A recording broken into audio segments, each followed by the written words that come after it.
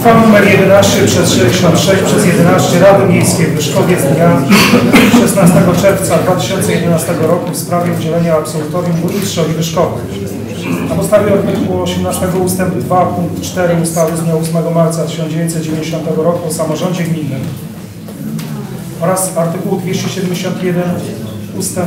1 ustawy z dnia 27 sierpnia 2009 roku o finansach publicznych Rada Miejska w Wyszkowie uchwala co następuje.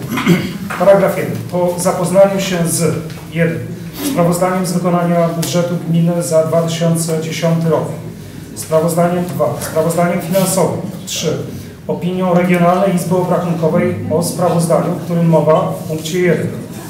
4. Informacją o stanie mienia komunalnego. 5. Stanowiskiem Komisji Rewizyjnej udziela się absolutorium burmistrzowi Wyszkowa za 2010 rok. Paragraf 2. Uchwała wchodzi w życie z dniem podjęcia. W podpisie przewodniczący Rady zabiera rację. Dziękuję bardzo. Czy do treści projektu uchwały są uwagi? Nie widzę uwag. Przystępujemy do głosowania. Kto z Państwa radnych jest za udzieleniem absolutorium burmistrzowi Wyszkowa? Proszę o podniesienie ręki.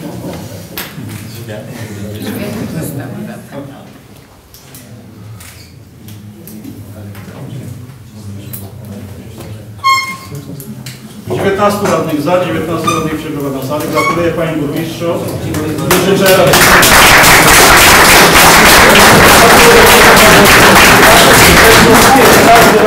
zamykam się taką imponującą ilością inwestycji, jak nam przedstawił Pan Burmistrz.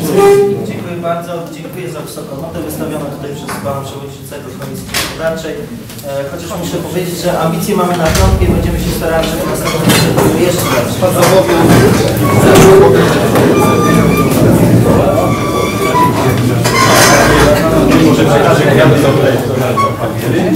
Pozwolę sobie słowo powiedzieć. Szanowni Państwo, Pan burmistrz powiedział, że burmistrz Nowosielski to dobry gospodarz. Potwierdziło to głosowanie radnych, 19 radnych za.